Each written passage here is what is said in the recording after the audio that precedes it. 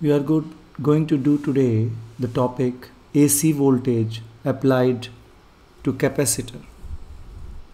You can see here that I am showing you the comparison between AC voltage applied to resistor means pure resistor circuit, pure inductive circuit and pure capacitive circuit. So these notes and the notes of this chapter are available for the download from the links given in the description of this video on the YouTube channel. And please subscribe the channel so that you will get updates about my new videos. Okay, now let us start AC voltage applied to a capacitor.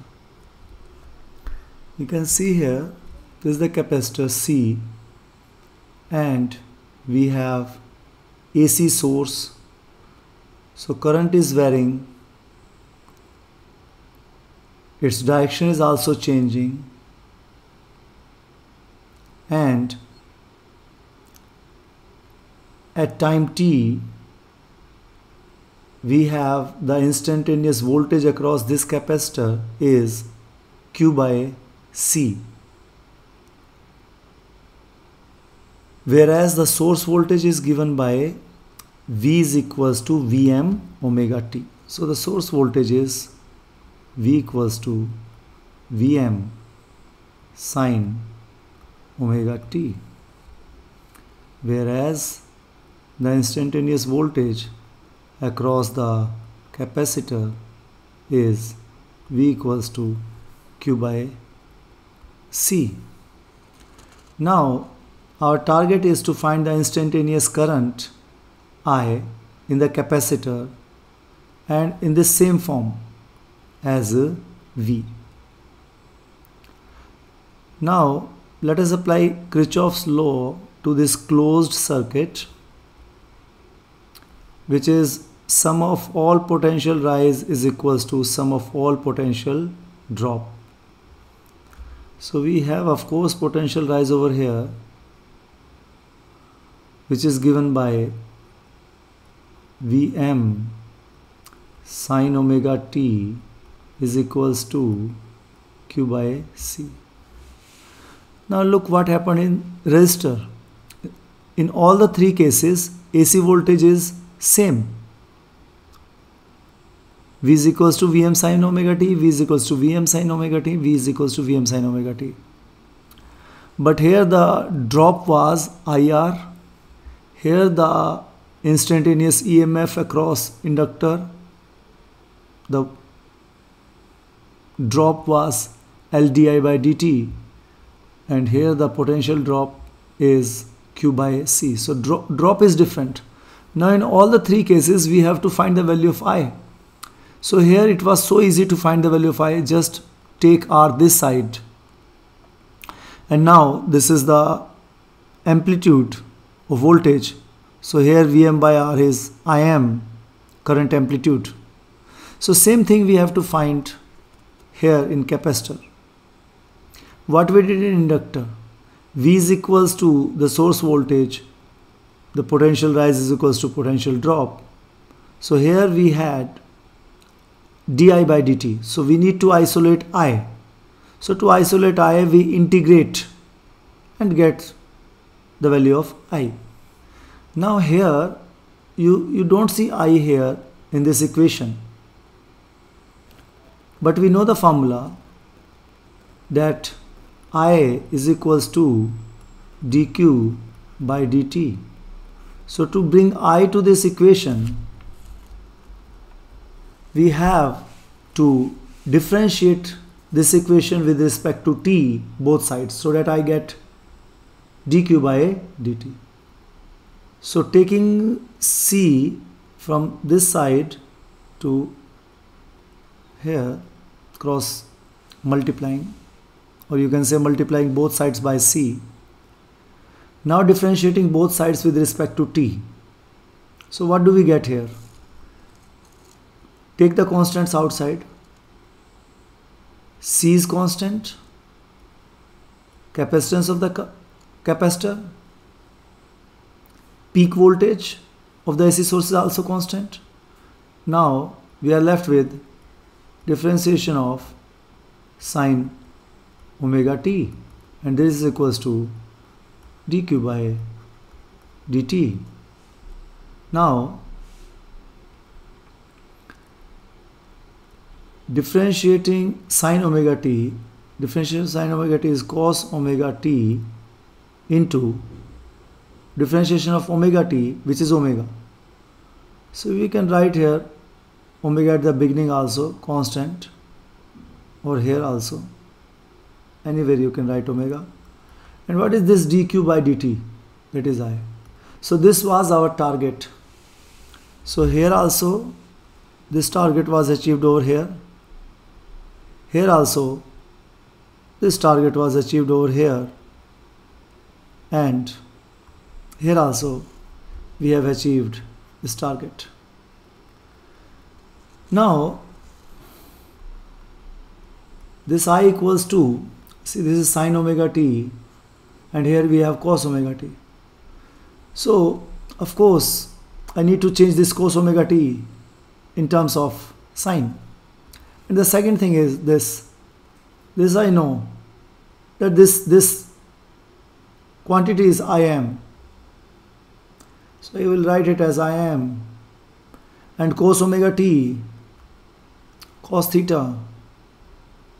So here I will be using cos theta I can write it as sine. 90 minus theta as well as sine. 90 plus theta.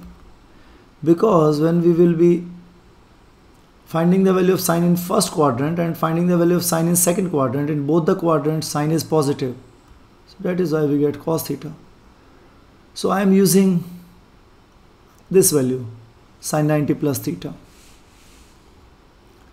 I'm not going deeper into this concept but I'm using this so this is will be equals to what's the theta here? Theta is your omega t.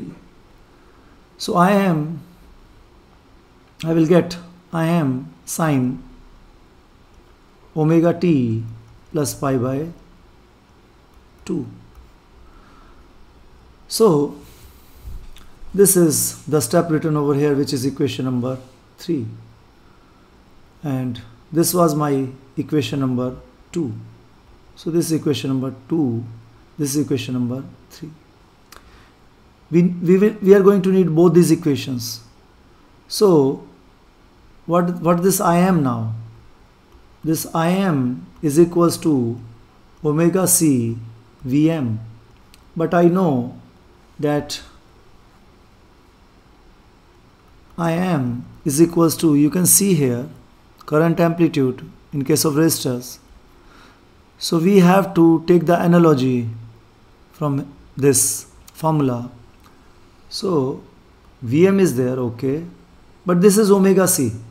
So I can write this omega c in the denominator as 1 upon omega c which is the same as this. So it means this is my so like here in this case it was Vm by omega L and omega L we had written as inductive reactance so same here we will write 1 upon omega c as so I am is equals to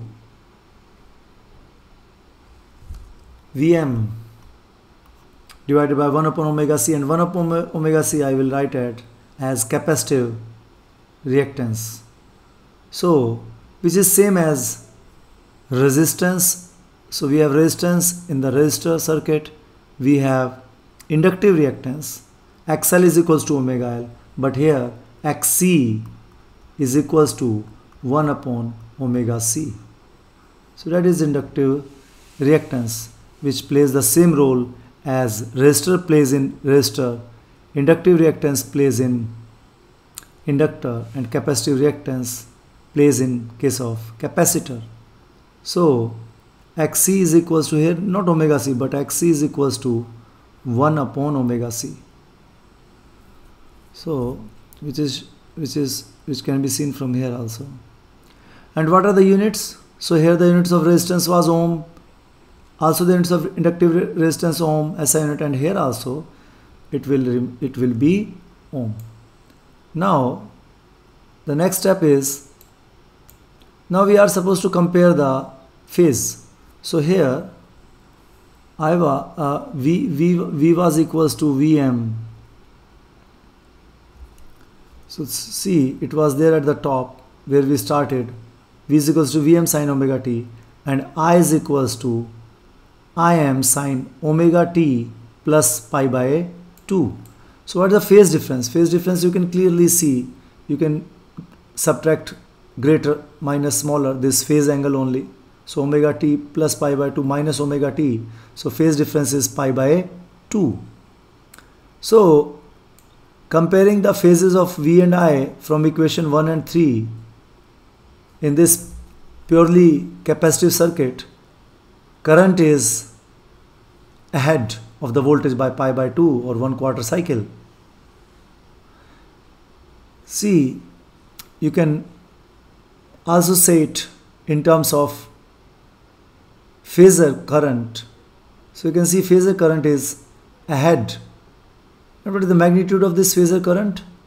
Its magnitude is current amplitude. And what is the magnitude of this phasor voltage? That is Vm, peak voltage.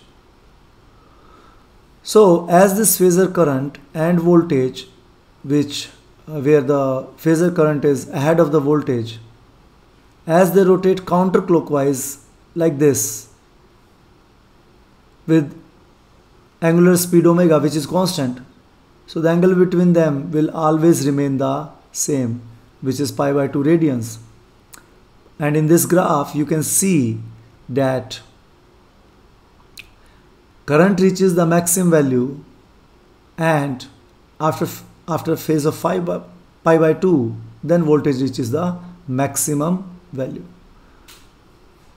So there is simple way to learn this. If you if you have some difficulty and you get confused which is ahead so just simply learn CCA CCA means capacitor C for capacitor C for current A for ahead.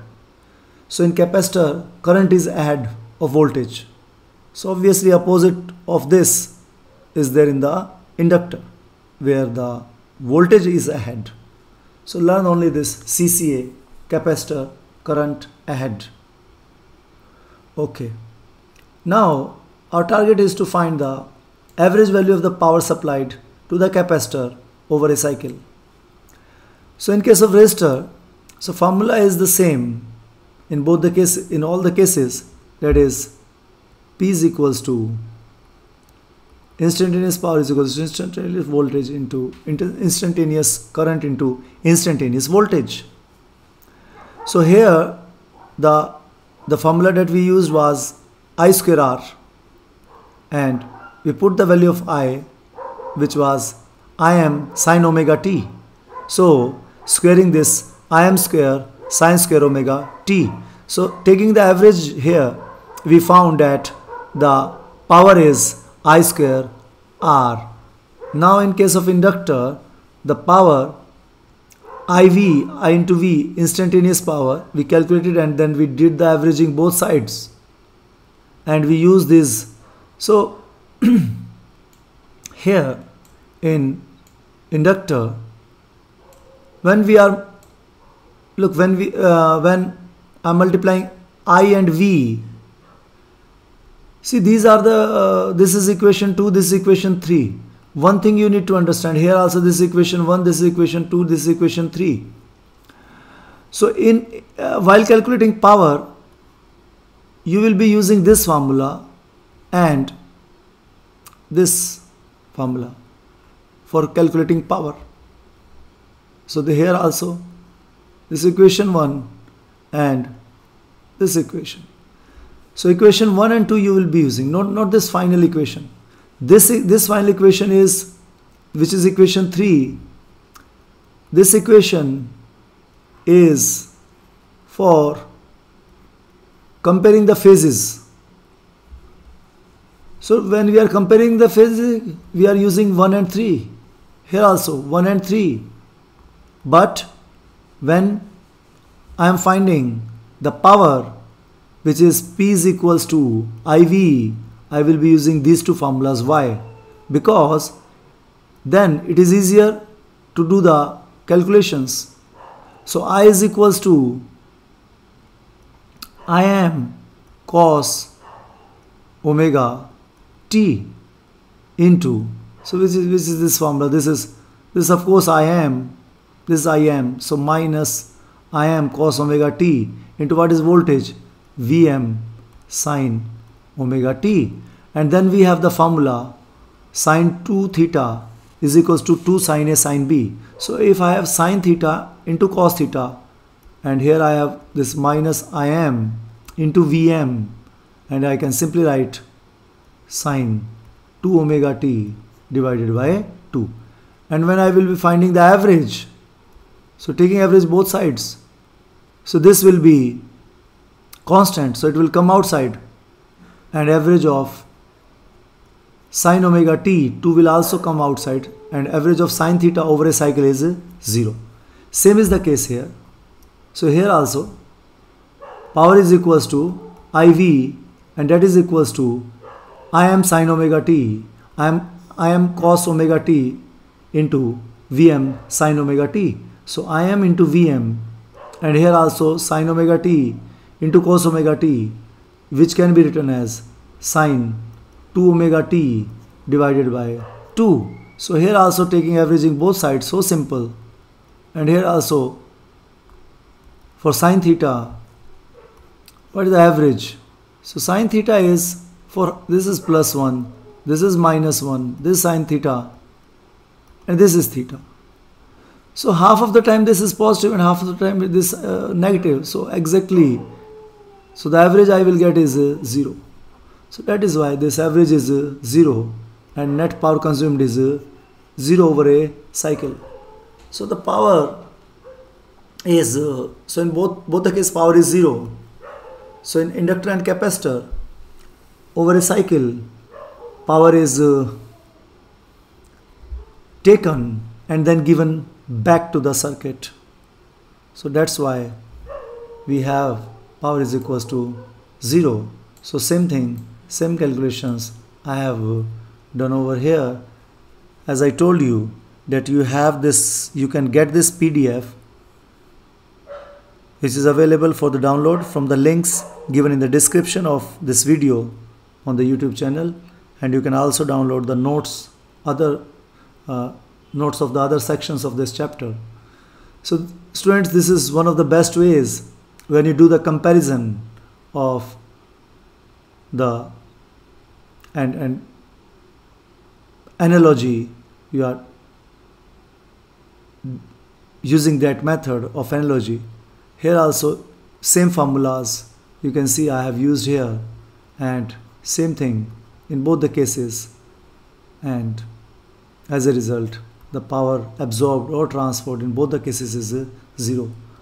I hope this helps you in understanding this topic. And next topic we are going to do is LCR circuit where these three elements are connected in series. So thank you for watching this video.